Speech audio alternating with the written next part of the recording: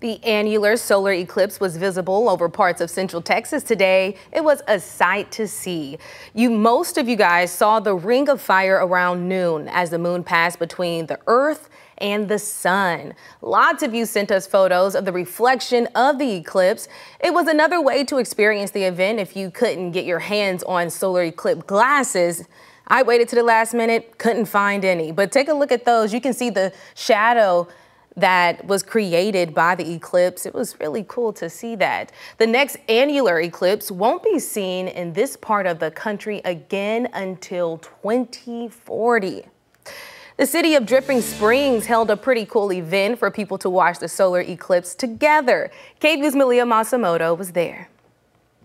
No, I'm so excited about this. Saturday, the moon passed between the Earth and the Sun, creating a partial solar eclipse in parts of central Texas. And those who saw it said it looked like a sideways it does look like a moon, but it's lying on its side. It looks like a cheese ball. It looks like, like a cheese ball? Like somebody took a bite out of it? Yeah. So like Indiana Jones, you know, and the crescent moon, and uh, maybe that's where they were looking. That's why they never found this, the treasures, because they were looking for it, and here it is. Dripping Springs started passing out these glasses at Veterans Memorial Park in the morning. I just love Dripping Springs. I love Dripping Springs. And to their surprise, crowds of people started showing up. I wasn't even supposed to open till 10, and there were lines of cars at 9 o'clock. But people were excited to come out because it is such a rare event. So beautiful. Part of the Great Pumpkin, I think. For the solar eclipse, they only happen in one place every 300 years. So dripping, the last time one came to dripping was in like the 1800s. It looks like a smiley face.